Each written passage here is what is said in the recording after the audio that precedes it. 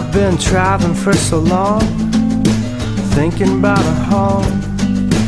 Faces in the crowd, speak to me out loud.